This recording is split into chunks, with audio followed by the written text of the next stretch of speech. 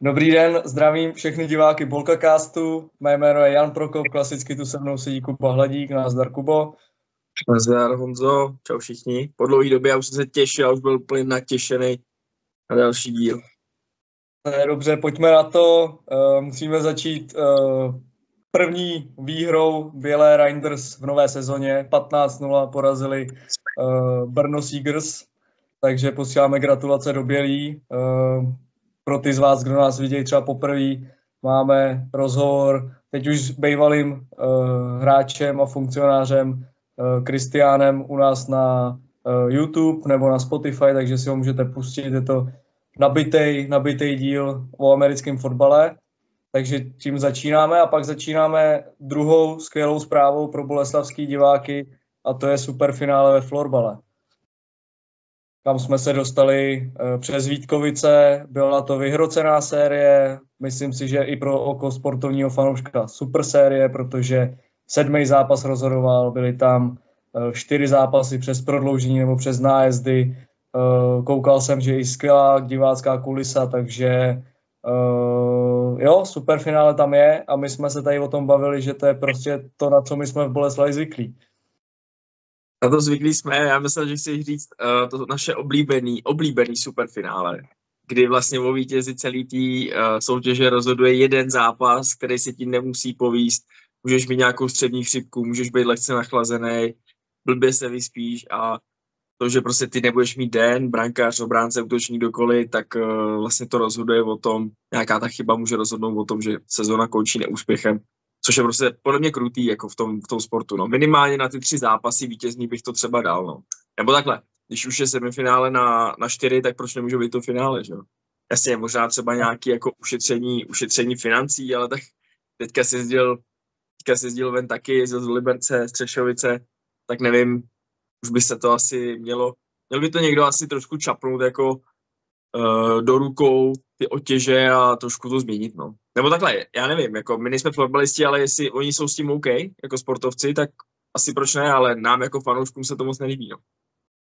Jo, souhlasím, jako je to, je to zajímavý v tom, že jedeš prostě do té o areny, nebo když se to hrálo ve Vítkovicích, že vyprodáš vlastně tu halu, nebo aspoň to spodní patro o areně, to znamená, že když na tebe chodí 900 diváků v semifinále, tak teď na tebe najednou přijde, já nevím, 6 tisíc, ale zase prostě z pohledu sportovce každá chyba rozhoduje opravdu o té sezóně, jestli ty budeš úspěšný nebo budeš druhý, což prostě druhý místa si nikdo nepamatuje, jak se říká.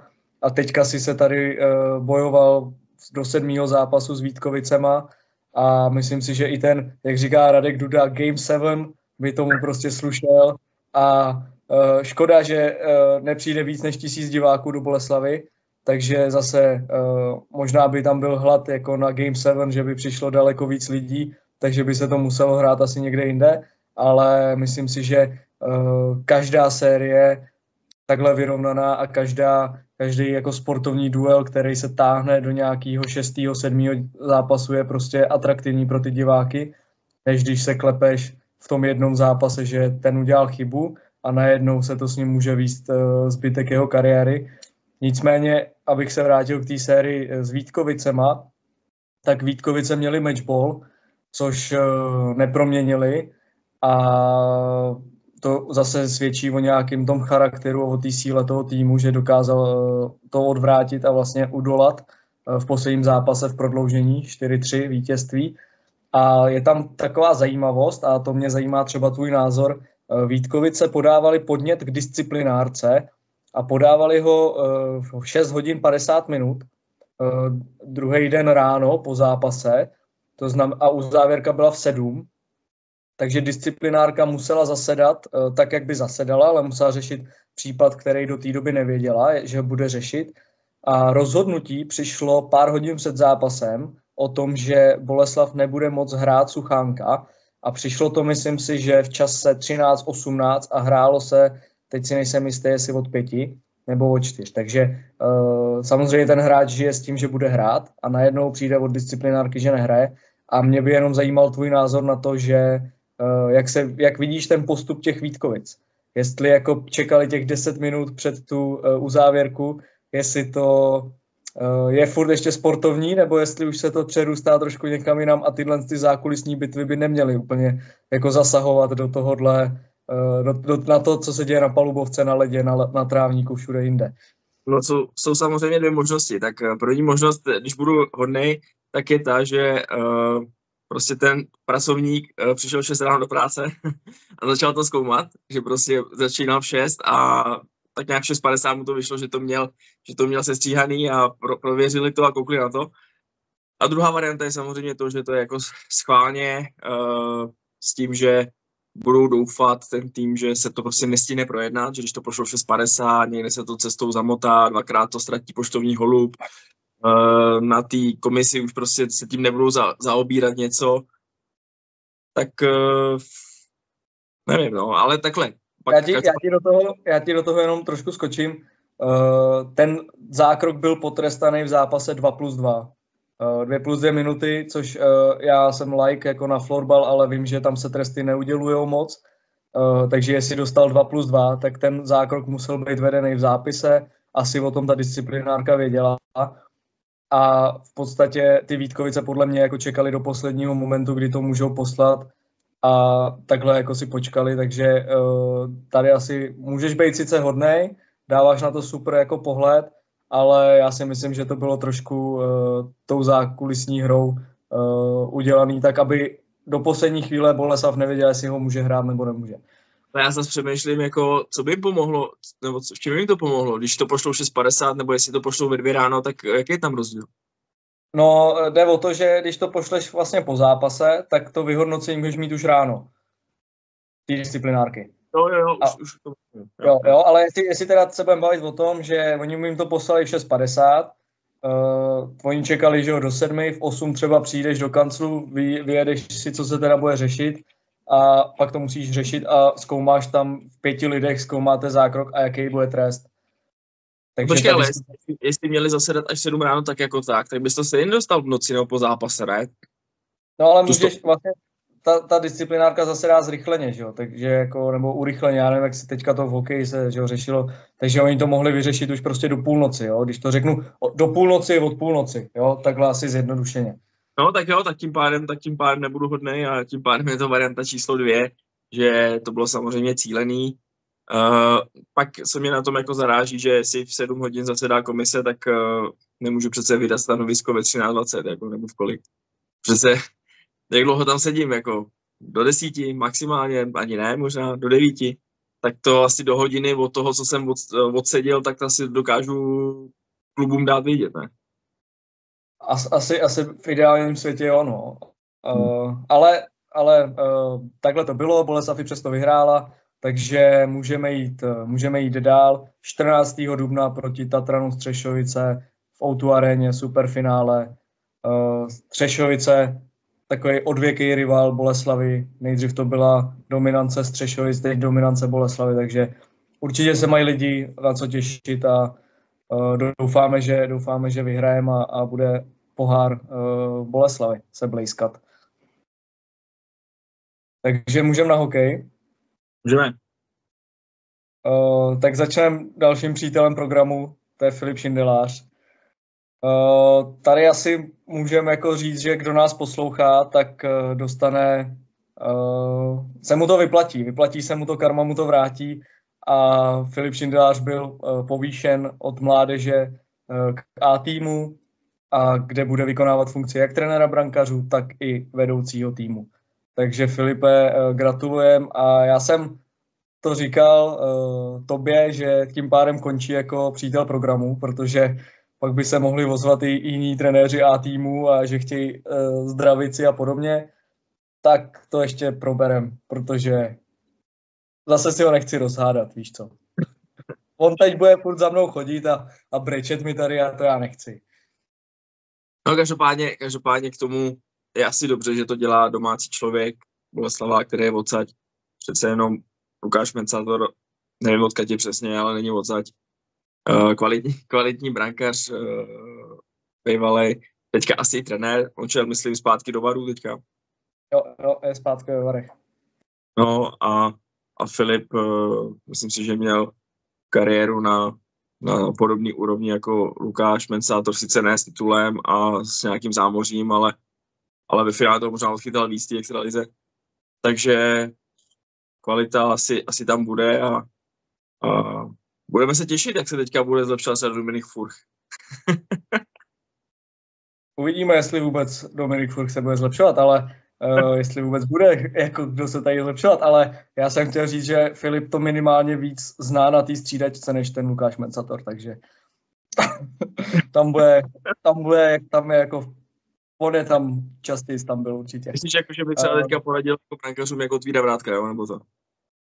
Ne, jak se sedí v té druhé řadě, jestli si máš vzít deku, jestli už to je na deku, není to na deku, kšiltovka, kulich, ale to, to jako jich proměny, který jako musíš zvážit podle mě, že... Zimáky, vej, takže on ví, kam si co vzít. Přesně tak, jak být připravený, jestli jít do brány ještě, nebo už jako říct trenérovi, ne, já už se necítím. Ale tohle on má všechno zmáknutý, tyhle ty fígle. No tak hlavně, aby zvládnul i fígle, jako koho nasadí do zápasu, no, protože jestli to jsou ty trenéři, uh, který právě se přiklání na tu stranu toho trenéra brankařů, tak vlastně on bude ten, co bude nasazovat, tak uvidíme, jako bude mít šťastnou ruku, no. Maximálně uh, na podcastu zase zpátky, no. Jo, jo, a, a hlavně, aby vyplňoval dobře zápisy jako vedoucí týmu a zařizovali ty věci okolo, takže uh, tam bude taky jako samozřejmě nějaký, uh, může se stát jako něco, ale přejeme mu hodně štěstí, to není jako, takže mu podkopáváme hnedka tu židli, na kterou si sednul. OK, můžeme dál. Uh, koho víme, kdo byl tak nějak jako oznámen, vlastně byl oznámený ofi, oficiálně na boleslavských stránkách, tak je Dominik Lakatoš. Uh, já nevím, jestli jsme se tady o něm už bavili, nebo jestli jsme se bavili jenom interně. Nebavili. Uh, ta Vítkovice dali zprávu, že ačkoliv mu běží smlouva, tak finanční, finanční náhrada, která byla z Boleslavy odeslaná, byla velice slušná, což se můžeme jenom dohadovat, co to bylo částku. Uh, nicméně mě trošku straší to, že to je vlastně na dva roky na hostování, Uh, nevím, jestli tam je nějaká obce, to nevím teďka, ale je, je dost možný, že za dva roky uh, o něj přijdeme a vlastně bez náhrady. Takže to je možná takový trošku riziko. Uh, jinak, co jsem čet rozhovor s ním, on bydlí 15 minut od Mladé Boleslavy, takže si myslím, že to bude brát hodně, hodně zodpovědně, hodně prestižně tady. Asi se bude vyvarovávat nějakých excesů a řekl bych, že bude makat, no, že bude makat naplno. Je to pro něj další šance v těch Vítkovicích. Eh, ten konec nebyl úplně dobrý. Byl tam vlastně odsunutý na tribunu, ačkoliv byl zdravý. Tady se na něj bude hodně, hodně sázet, si myslím, protože to je vynikající střelec, má tam nějaký 20 gólový sezóny, 50 eh, bodový, bod na zápas dělá. Umí to, vlastně teďka letos eh, vyhrál produktivitu ligy mistrů, takže hráč je to vynikající, co se týče směrem dopředu, směrem dozadu to bude horší, to uvidíme a hlavně musí zlepšit tu disciplínu. No.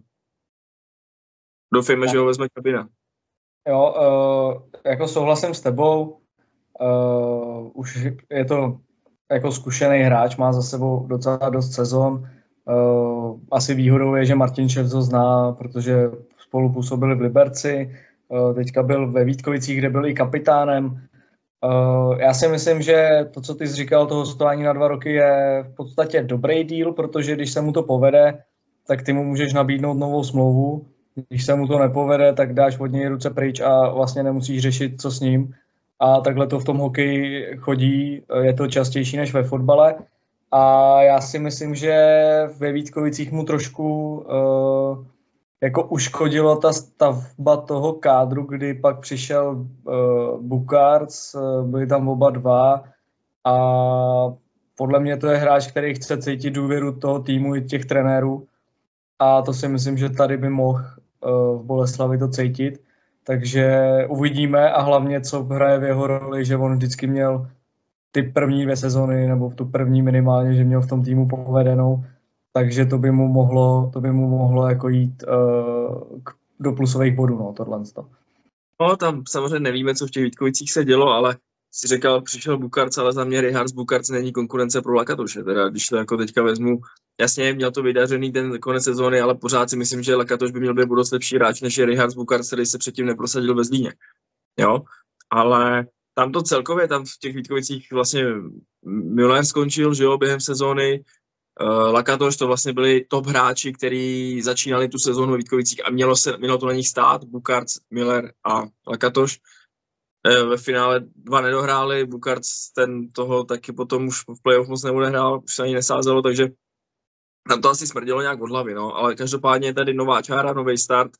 A ty si řekl správně, že Martin Šef to zná z Liberce, kde, kde spolu působili, takže budeme doufat, že to všechno klapne, že to sedne, ale Katoš bude náhrada třeba za Roberta Lantošiho.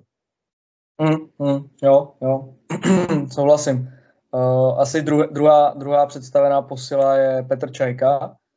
Uh, tady k němu uh, já bych nechtěl jako úplně hodnotit teďka nějaký ty jako hokejový uh, dovednosti jeho, protože to nemáme asi nakoukaný. Je to mládežnický reprezentant.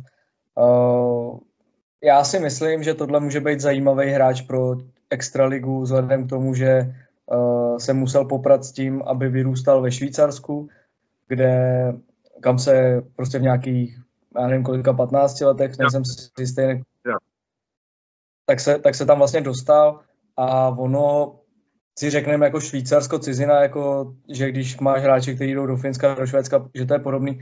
Já si myslím, že to Švýcarsko je ještě trošku specifičtější v tom, že to prostředí je prostě uh, jako, jak se říká Švýcaři, že jsou přesný jak hodinky a podobně, tak uh, oni vyžadují vyžadu ještě nějaký ten řád navíc, než je třeba ve Švédsku a ve Finsku.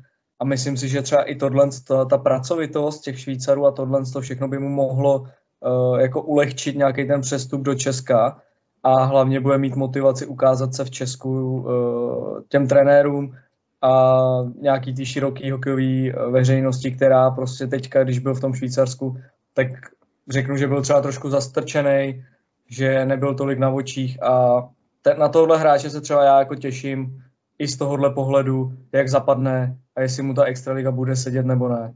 Že to je prostě takový jako neokoukaný prospekt, který by mohl mít třeba dobrý vliv na ten tým, i co se týče do kabiny, že prostě bude mít ten řád, pořádek a takovéhle věci, i nějaká herní inteligence, protože to Švýcarsko je uh, dobrá soutěž, takže na tohle já se třeba těším osobně.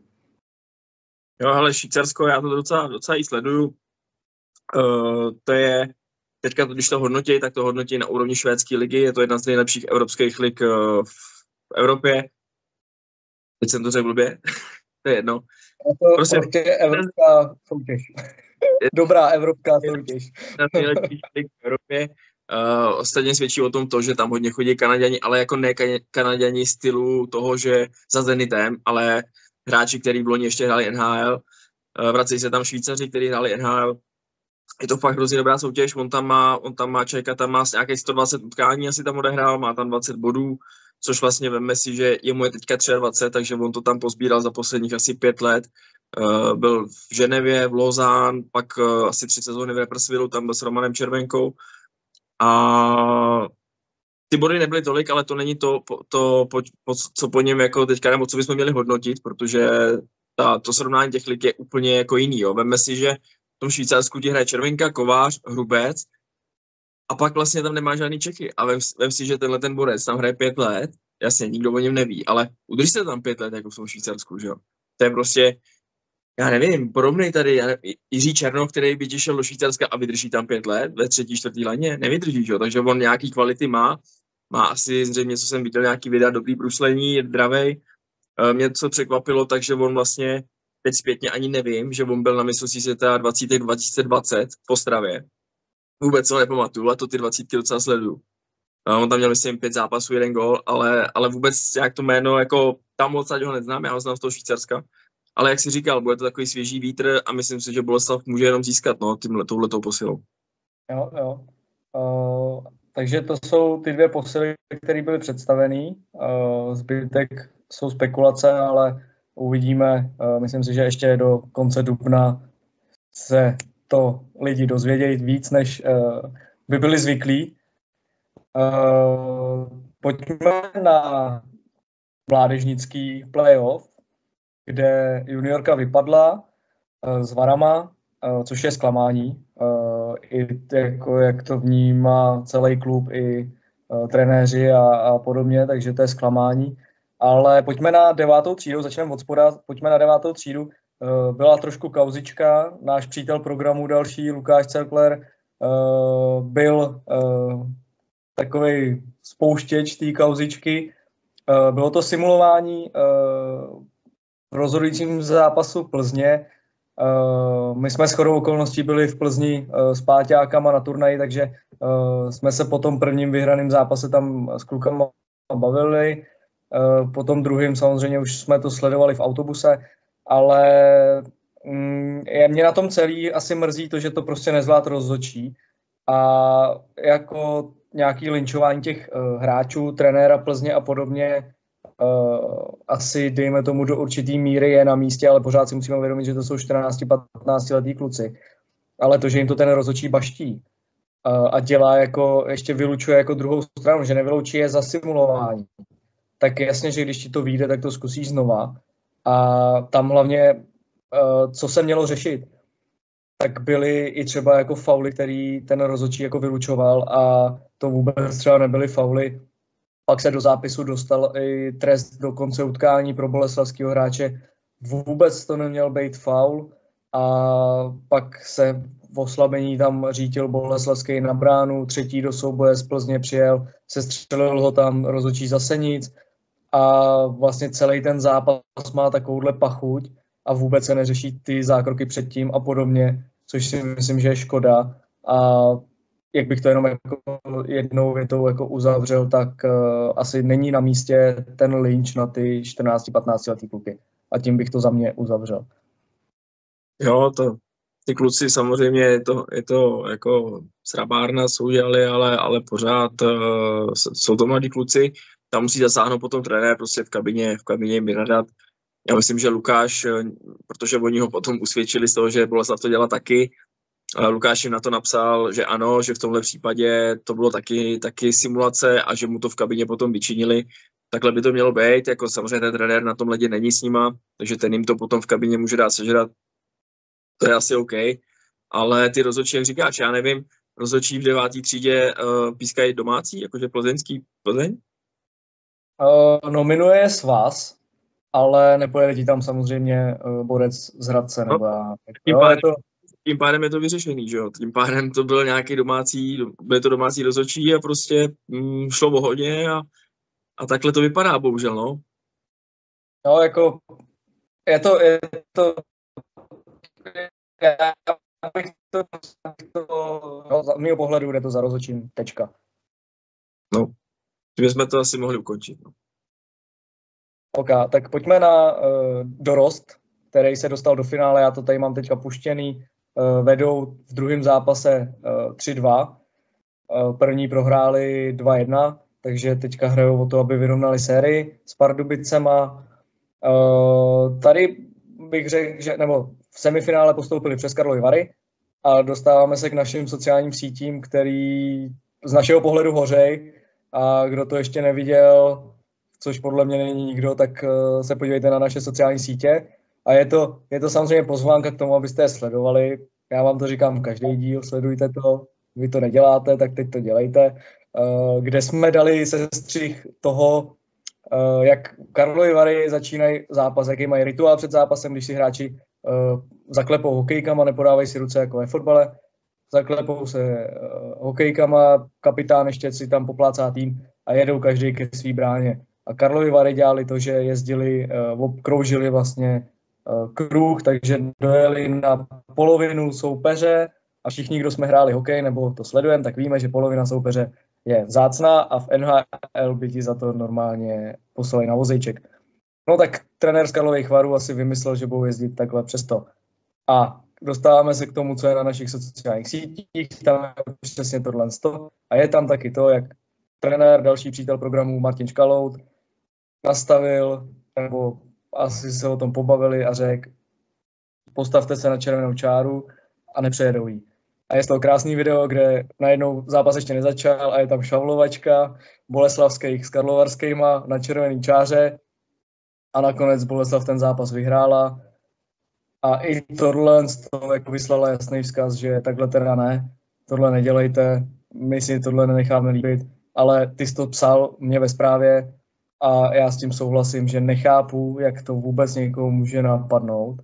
Je to bez respektu a prostě nepsaný pravidlo nepřejížděj uh, červenou čáru a pak se budeme divit, až se to jako vyhrotí do takové podoby, že v prvním střídání si tam borci dají do držky v dorostenecké soutěži, anebo že někdo někoho pošle hlavou na mantinel, protože budou přemotivovaný a podobné jako věci. Takže za mě jako, jak se říká, palec dolů, ale chci pochválit svého kolegu Tomáše Tajmnera, který na to koukal a sestříhal nám to video, takže, takže ho tímhle zdravím a můžeš se k tomu vyjádřit ty. Jo, tak hlavně pochvala, dobrá práce videokouče. A ne, jak, jak jsem ti psal, to je prostě brutální neúcta.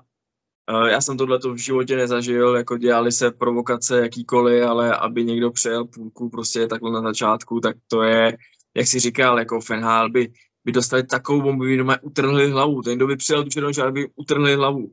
To je jako strašný, ale zároveň já si myslím, že to nevymysleli hráči, a jestli hráči, tak ale minimálně se šli zeptat trenéra. Takže ten trenér v tom bude zapojený, že buď jim to, buď jim to řek, ať trošku vyprovokujou, anebo, nebo jim to minimálně schválil. Tak uh, co si o tom trenérovi myslet, no, jako prostě neučí je nic dobrýho. Uh, já jsem říkal za nás, ten hokej, ctili se pravidla, ať, ať na nás trenér řval z prostý nadávky, to je jedno, ale vlastně posouval nás do života, nějaký ústěk, nějakýmu respektu k tomu soupeři to se vždycky ctilo. A teď to vypadá, že to, že to mizí no, z toho hokeje, což je škoda, protože kdo jiný by to na, měl naučit, ten respekt, než ten sport a ty trenéři. No. Doma ti to jako úplně nenaučí, bohužel. No, takže, to má... takže to a no, správná, reakce, správná reakce našich trenérů, že prostě uh, na druhý zápas si na ně připravili takovouhle pastičku a, a dali jim to pěkně sežrat. No. Jo, uh, ne, já souhlasím a Eh, to, jaký vliv má trenér na, trenér na ten tým, je evidentní, eh, protože eh, nechci to vytahovat, interní věc, ty o tom víš, zápas osmý třídy s Pardubicema, tak třeba trenér naváděl mimo jiné i Golmana, který nedosáhl na břevno, tak ho naváděl jako 10 minut před zápasem, ať ve třetí třetině 10 minut do konce zápasu, ať jako vysadí, vysadí branku a podobné věci. A ten golman samozřejmě tobě je, já nevím, 13-14, toho trenéra respektuješ, bojíš se ho nějakým způsobem a když on ti řekne vyndej branku, tak i když ty víš, že to je naprostá blbost a neudělal bys to sám od sebe, tak protože to řekne tak to uděláš. A takovýhle lidi k mládeži nepatří a uh, jak my víme, tak už takovýhle trenér tam nebude. No. Ale to je zase jiný příběh a ten tady nechci rozmazávat, takže správná reakce našich a zasloužený postup do finále a pro lidi, kteří chtějí jít v Dubnu na hokej, protože uh, nemůžou jít uh, už na žádné jiné Boleslavy, tak ve čtvrtek a v pátek ve Ško Energo aréně uh, zápas, finálový zápas Boleslavy proti uh, Pardubicím. Takže doražte, kdo můžete a kdo chcete samozřejmě. A můžeme na fotbal. Můžeme na fotbal. Zlín, my jsme, my jsme vlastně Zlín udělali takovou rekapitulaci skoro po týdnu, protože uh, já jsem tam byl sám, jsi mě tam nechal v tom a já jsem toho v práci nějak moc a nějak jsem se k tomu nedostal, doma, doma na zahradě to bylo hodně, takže jsem se k tomu nedostal, pak jsem se k tomu dostal někde až čtvrtek nebo kdy v pátek, tak jsme tam něco sepsali, to jste asi četli. Co k tomu říct, no, můžeme to jen tak schrnout. Uh, zápas byl hodně ovlivněný, nebo poloslavská sestava byla hodně ovlivněná těma kartama, které jsme dostali v minulém kole. Vlastně kvůli kartám chyběl Jusuf, Suchý, Matějovský, to bylo za žlutý a Žitný chyběl za tu červenou, kterou dostal nesmyslně na konci na půlce. Uh, náhrady tam byly půlkrát za Jusufa, uh, Král místo Suchýho, Mareček Sakala, ne, Mareček, Mareček Kubista byli ve prostřed, místo Matějovského. A začátek byl já jsem to tam psal, já nevím, jestli to tam nechával s tím holubem, asi jo. Tam vlastně začátku jediný, jediný co, tak padly dvě rychlé bránky úplně z ničeho. Tam půlkrát uh, za vápnem vystřel, zrovna teďka jsem s ním poslouchal podcast uh, První dotyk s Poprechtem a on říkal v tom podcastu, který byl ještě před tím zápasem, vlastně po té operaci, že on v životě nedal gol dál než uh, z puntíku, z, z, jako z penalty. A teď zrovna po tom, co to řekl, tak dal góla za vápnem. Takže asi jeho první gól tenhle ten. No, ale to byla taková chyba obrany, on tam šel jeden do tří, dobře si to zpracoval, vystřelil. A pak vlastně druhý gól uh, chvilku potom udělal Vasel Kušej, kdy zleva tam vymíchal, udělal si tam z nich kužel a nechal tam, přenechal tam míč Ladrovi, který, který mohl klidně zavřít oči a napálit to dobrá, tam, tam šlo kamkoliv. 2-0 a pak se nedělo vůbec nic, jako pak tam byl ten holub, který tam lítal, vybíral si tam místečka, uh, to bylo jediný asi tak jako záživný tam. No ale ke konci poločasu, já myslím, že ve 39. po nějakém zase centru, ty nám, ty nám docela nejdou, si myslím, u nás. Uh, po centru jsme dostali gola hlavou od schánělce, No a pak, pak se začaly jako dít věci toho, že my jsme do toho poločasu, ještě do toho konce, což bylo nějakých 6 minut, mohli prohrávat 3-2. To je jako, ty byli úplně neruční naši. No a čekali jsme, čekali jsme, co bude, co bude druhý poločas, ale to byla jako bída, to bylo, já jsem tam vzal tátu po dlouhé době a myslím si, že nebyl tak nadšený, aby, aby tam šel příště znova. To je to, o čem jsme se bavili, že když tam někdo jde, třeba i po dlouhé době, tak ti řekne, ty, tak tohle už jsem viděl před čtyřma rokama, před třema, jako takhle už se tady hrálo a není to něco, by ho táhlo příště znova, no. My jsme tam měli hroznou kliku, jo, nám, nám tam, myslím, vyrovnal Vukadinovič na 2-2, někdy před koncem, 89. nebo něco takového. Tam se ještě řešilo, uh, řešilo se, jestli tam náhodou nebylo zranění, nebo nebyl tam faul na krále, který ho tam šlápli. Oni ho vlastně odnášeli potom uh, na střídačku, měl krvavý koleno, tam, tam měl fakt jako díru od kolíku.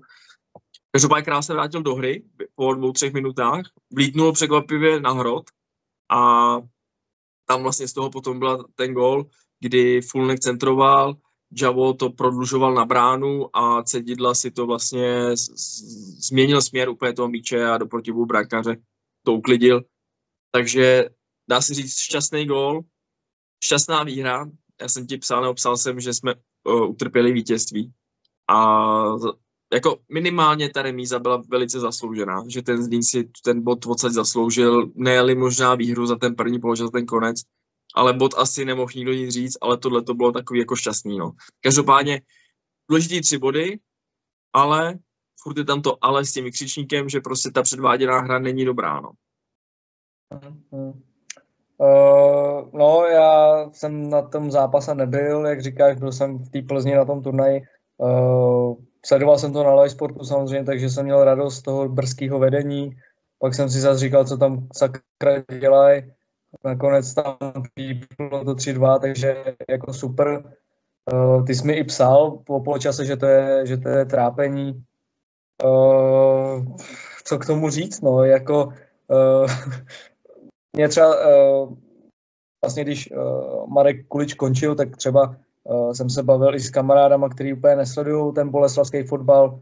Uh, říkali mi, že když tam byl Kulič, takže se i podívali uh, na zápasy Boleslavy, že je to bavilo, že to bylo ofenzivní a podobně. A já jsem pak koukal na statistiky, když jeli domů a tam byly střely 3-2. Já si říkám, tak to teda musela být zábava, jako efektivita sice parádní, ale jako minulý zápas, já, ty, to nebyl zas ty, to jsem byl já s tou Olomoucí, a to byly střely 4-2, myslím. Skončilo to 2-1, takže jako střel máme po skromnu a pak mě jako zaujalo uh, hlášení diváků, protože těch hlásil ještě víc než na Olomouc. A já, když jsem viděl ty záběry, tak uh, polovina stadionu mělo by být bylo nějaký stát, což je skoro polovina stadionu, a ta polovina stadionu byla naprosto prázdná, to by znamenalo, že vy jste se tam museli mačkat hlava na hlavě a nevěřím tomu, že to tak bylo. Takže to je jako zajímavé, že ty diváci furt rostou, ten počet těch diváků roste, ale ten stadion je prázdnější a prázdnější. Takže ten algoritmus mají nastavený asi trošku opačně, ale uh, to je jenom takový, co mě zaujalo. A pak mě zaujala druhá věc a ta mě zaujala uh, teďka dva dny, tři zpátky, když trenér Holoubek byl vyhlášený trenérem měsíce. Uh, jako já mu to, já mu to ne, ne, jako, ne, že bych mu to nepřál, jo. já mu to přeju a přeju, aby se tomu týmu dařilo, aby jsme hráli jako super fotbal, ale já vůbec nevím za co. Jo, to je, protože uh, před náma byla Plzeň, před náma byla Slávě, který měli víc bodů než my za ten měsíc. A my jsme dohromady, my jsme to pak počítali, my jsme měli dohromady za ty čtyři zápasy 14 střel na bránu Uh, byl tam zápas na Bohemce, kde jsme jednu, uh, pak tam byly tyhle ty zápasy, kdy jsme teda každou střelu skoro proměnili jako v gól. Ale já prostě nevím, jestli jako ocenění trenéra měsíce je na základě toho, že ten fotbal jakože jenom boduješ a vůbec jako nehraješ atraktivně. To přece bys měl ohodnotit ten tým a ne toho trenéra. Ten trenér by měl přidat nějakou jako hodnotu tomu, tomu fotbalu, nebo já nevím, jako takhle mi, to, takhle mi to přijde a Plzeň v ten měsíc porazila Spartu 4-0. A Sparta v tu dobu byla na prvním místě tabulky, tak asi možná pan Koubek, že by si to zasloužil trošku víc, jo, ale zase nechci úplně do toho rejpat. Hold stalo se a ty kvality trenéra Holoubka asi byly vidět pak na Spartě, no. Vlastně ve včerejším duelu, nebo nebo já nevím. mě, už je, mě, už je, mě už je blbý jako tady furt kritizovat, jo, protože jsme boleslavský fanoušci a, a máme to rádi, ale já nevím, jestli třeba na to blbě koukáme, jestli prostě jsme furt nějak jako zahořklí z toho kuliče, z toho konce a prostě nevidíme asi t, jako tu kvalitu nebo tu, já nevím, jestli jsme třeba nějak oslepli a tu hru jako nevnímáme tolik, jako že tam jsou dobrý momenty, já nevím, ale to samý nám psal někdo na, na Twitter, jakože že to je jako zaslouženě, že jako Holoubek to vyhrál zaslouženě toho trenéra měsíce. Já nevím, podíváš se na tu Slávy, tam má skoro 10-1 za, za, za ten měsíc, jako nestratila bod. Já chápu, že to furt nemůže dávat Jindrovi s Koupkem a s Priskem, ale jako musíš to brát, já nevím, no. Jako body dobrý, máme zasloužený, nebo zasloužený, zasloužený to úplně není, ale máme, máme dobrý body teďka za ten měsíc. Uh, neprohráli jsme, ale i ten výkon, no, přesně jak říkáš, jako musí se na to podívat i z hlediska, jestli to ty diváky bavilo, že jo, a teď já mám důkaz toho, že tátu to prostě nebavilo, když tam byl teďka po dlouhé době a bylo to se Zlínem, který je předposlední, s kým chceš jiným jako hrát fotbal, aby tě to bavilo. A to, pozor, a to, to ještě není Zlín, který jezdil před lety, který to zabetonoval na velkým vápně a nemohl se tam dostat. Pozor, tohle to byl Zlín, který hrál normálně kombinační fotbal. Mají tam toho Slončíka, mají tam tyhle ty fantiše a hráli jako vyloženě dobrý fotbal bylo to otevřený nahoru dolů, proto jsem říkal, že v poločase mohli klidně výst. Takže to nebyl ten Zlín, který hrál dřív tady betonáž a nemohl by to být koukatelný fotbal, jo. Ale nevím, a, a, ano? Ještě jako, ty jsi to řekl, jo, ta, ta anketa je, to je prostě zábava, jo, ta anketa hráč měsíce, trenér měsíce a sestava kola. To je pro fanoušky vytvořený a vlastně ty fanoušci hodnotí nějakou zábavu. I ta anketa je zábava a v podstatě jako tady ta přidaná hodnota jako e, není, ale jako já už jsem taky pochyboval o sobě, že jako už na to koukám, jako že Marek Kulič byl pro mě jako modla a teď ho vyhodili a já budu všechno hejtovat. Ale jako já bych chtěl jako chválit a chci chválit, ale jako bohužel asi není úplně co, jo. jako jediný ty body. A buďme rádi za ty body, že teďka jsme se bodově zvedli, i vyhráváme a Olomouc a Slovácko jsou na tom špatně, takže teďka z těch týmů, kterými jsme tady minulým díle jmenovali, tak vyhrává jenom Baník a Boleslav. A my máme tři body na Baník, takže jako to je čtvrtý místo a tam už jsou poháry, jo, tam už je Evropa. No přesně jak si řekl, jako my bychom rádi chválili, že my rádi chodíme na ten stadion, rádi se jdeme podívat, ale ta zábava tam prostě není. Jako je hezký, že, a to jsme tady říkali možná na začátku, je hezký, že uděláme tři body, že uděláme výhru, ale když to nemáš tu radost a ty fanoušci z toho nemají radost, tak prostě uh,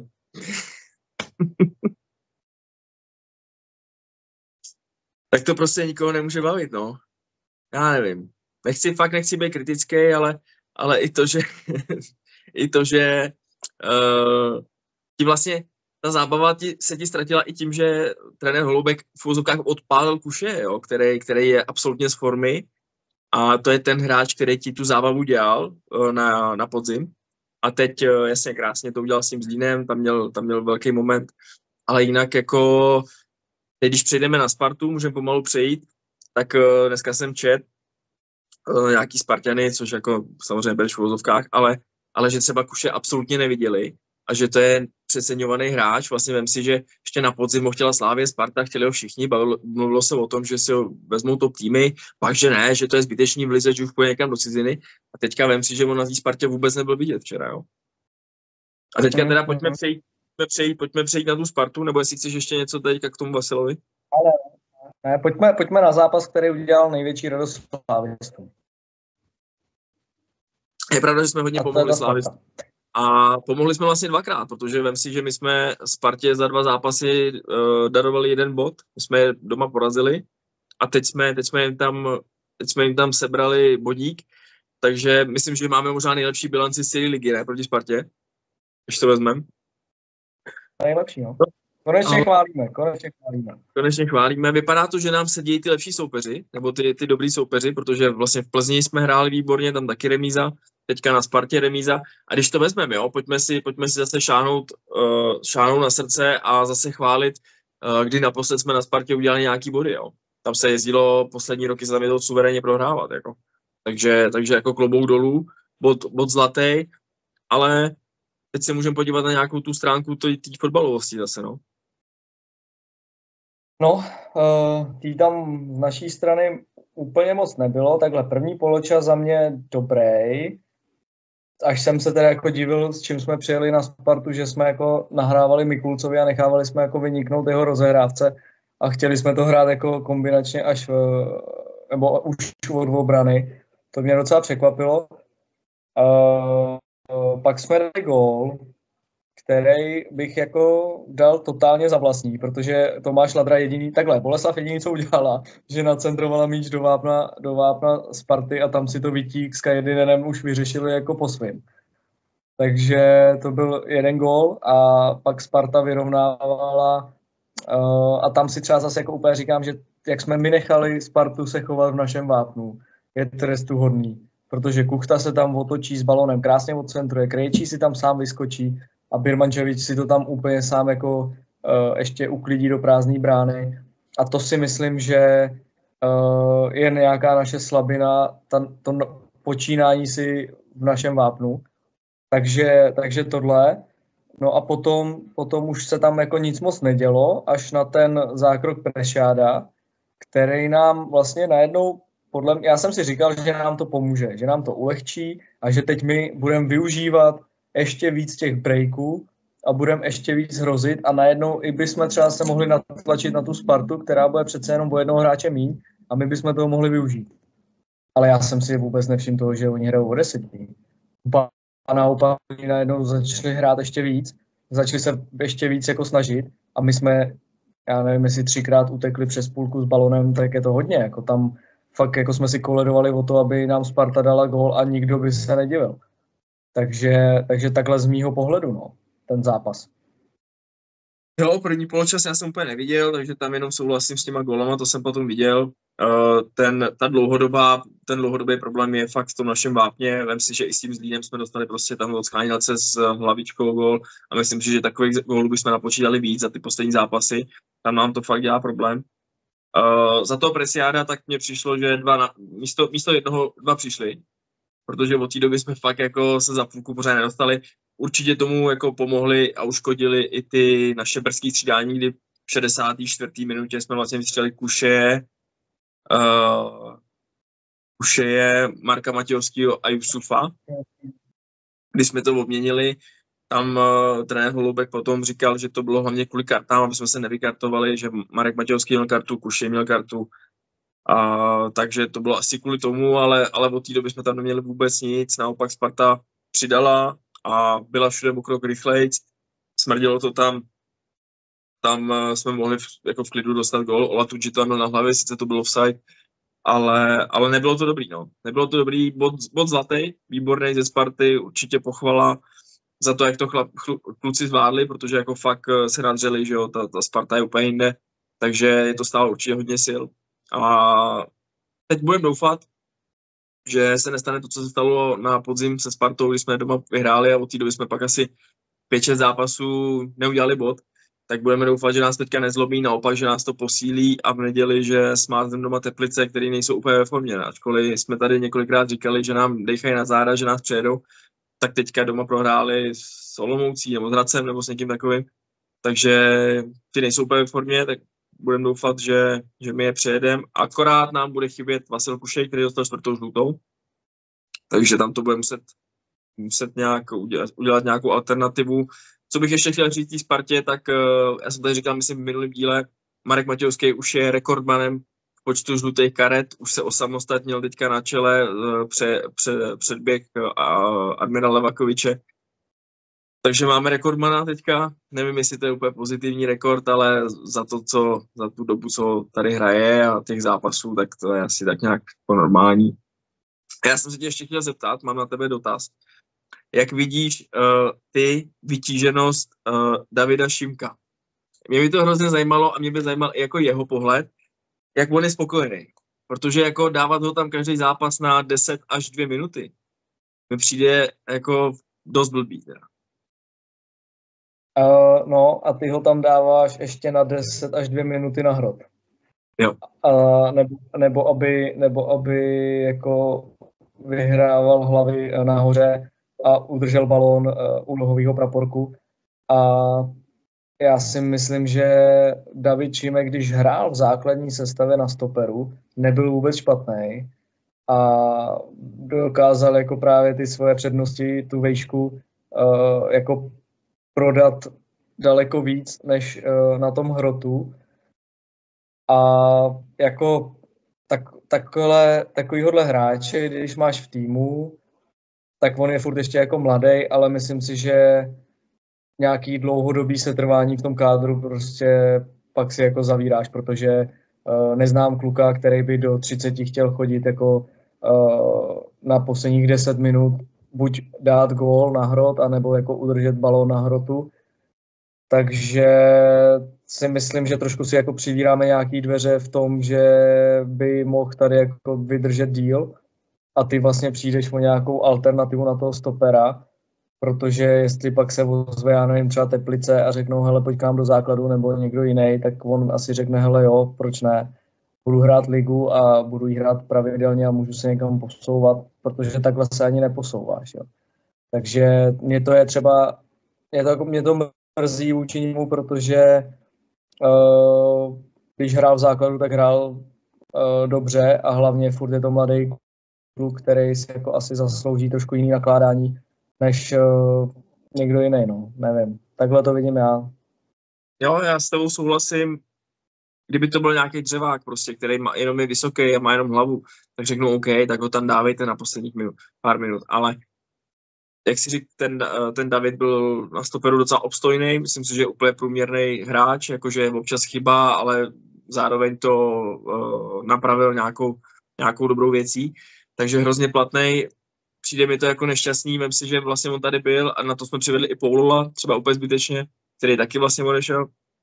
Teďka teda, teda a... kdyby nevyskočil teďka mladý král, tak asi tam možná je nějak v té v rotaci, ale teď bohužel tady je. Ale je to, je to škoda, no. Takhle jsme podle mě zazdili i Tulia, uh, chvilku jsme takhle zametali s Evertonem, takže my občas máme takovýhle jako věci, třeba ten uh, Chrysler, který šel do Liberce, taky jako proč, jako zbavujeme se takovýchhle hráčů, který jako nejsou špatný, jsou to docela srdcaři, makaj, a my si takhle s tím děláme docela brajgl, no. No, jako hlavně, co, co se spekulovalo, tak, že on by šel uh, do Pardubic, že jo, mohl přestoupit před sezónou. A teďka asi možná toho lituje, protože tam by měl třeba to herní vytížení, ale uvidíme, no, jako mě je to jenom, jako já chápu ten trenér s určitým jako kádra a podobně, ale takhle přece jenom, když tě z pozice stopera hážou na hrot, eh, tak je to takový,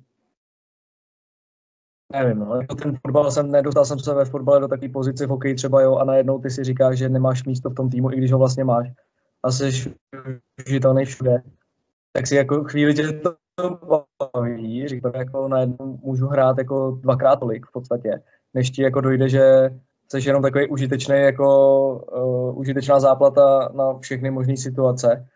Takže tě to dlouho nebaví a chceš být jako na nějakém svým prostě postu a chceš se na něm zlepšovat a chceš na něm dávat tomu týmu co nejvíc můžeš, no. Takže, takže tolik jako za mě. A já jsem chtěl jenom ještě ocenit, nebo takhle.